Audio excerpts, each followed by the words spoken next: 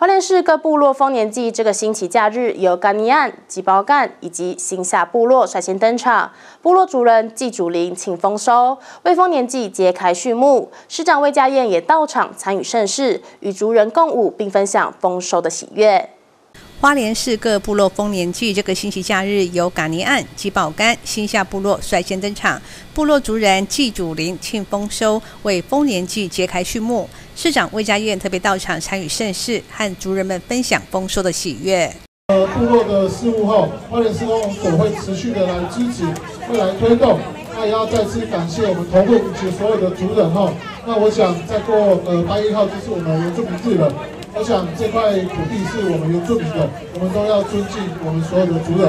再次的祝福我们所有族人哈，一切平安。那可以看得到我们吉宝干这边哈，我们部落聚会所盖得非常的漂亮。我要特别谢谢我们甘校长哈，那在跟我们前任的魏家贤市长哈。特别的来争取经费哈，来设置我们的部落就业所，让族人有一个遮风避雨的一个空间哈。那办理各项的一个，不管是呃丰年祭、捕鱼祭、捕鸟祭等等哈，都可以在这样的一个非常棒的一个广场哈来办理。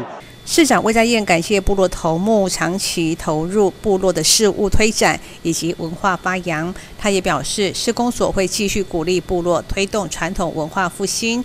除了支持族人举办各项的传统祭典之外，也会积极协助母语扎根、传统技艺传承等工作。而花莲市到八月二十四号还有多场的部落丰年祭，也欢迎喜爱原住民文化的民众可以前往体验共舞。谢瑞慧欢市报道。